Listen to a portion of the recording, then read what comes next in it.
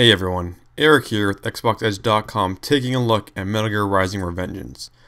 This new Metal Gear game was developed by Platinum Games, a newcomer to the long-running franchise.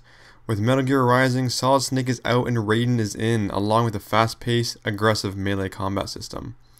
Raiden stylishly eliminates enemies using his sword and various other weapons to slash, knock down, juggle, and slice his way through the mix of cyborgs and mechs in his way.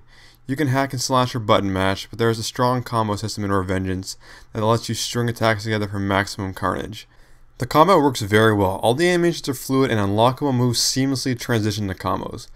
Coupled with the chaotic combat system is Blade Mode, which allows the player to accurately define the arc in which Raiden will direct his sword. During this mode, you'll be able to dismember enemies, slash down incoming rockets, and even chop vehicles in half. Blade Mode is elegantly violent, easy to understand, and illustrates what a complete badass Raiden is. Unlike most action games, Revengeance nails QuickTime events.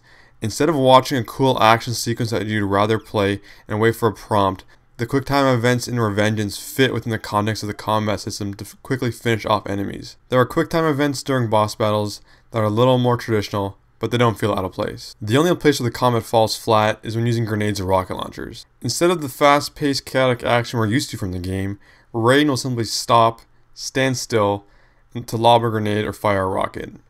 While this isn't entirely unrealistic, it feels weird given the rest of the combat, not to mention it makes Raiden extremely vulnerable. Another area where the game has some issues is with the camera. Most action games where the player is dashing around the screen tend to have some problems with the camera, and Revengeance is no exception.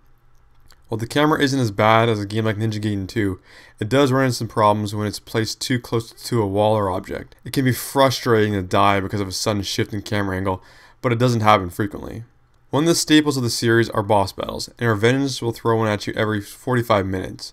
Most of the boss battles are very tough without being cheap, and will force the player to step up their game in order to overcome them. At the end of each battle, epic music begins to fade in, creating a tense and exhilarating experience. Metal Gear Rising Revengeance is an excellent action game and one of the strongest debuts of 2013 so far. The combat is fast paced and aggressive, and the innovative blade mode works extremely well. While there are minor issues with the camera and some weapons, the overall experience is chaotically fun. Make sure you subscribe to our channel, and head over to XboxEdge.com for the latest news and reviews pertaining to the Xbox 360.